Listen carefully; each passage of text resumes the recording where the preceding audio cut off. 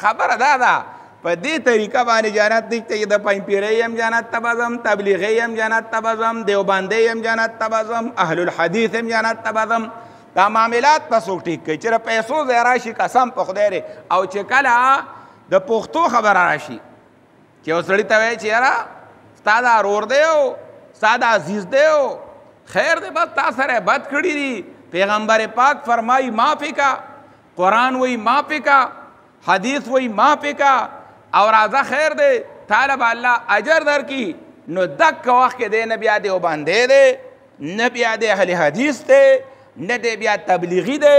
دی د بلا بچي بیا پښتون دی بډاور سټور او خچ کم دینو کلک پښتونې مویزو د اجر د غټلو فلاقت حمل عقبا قران وی د ثواب غونډه ته نه خته لالا د ثواب غونډه دی نه غټلا نه دا خاصه یو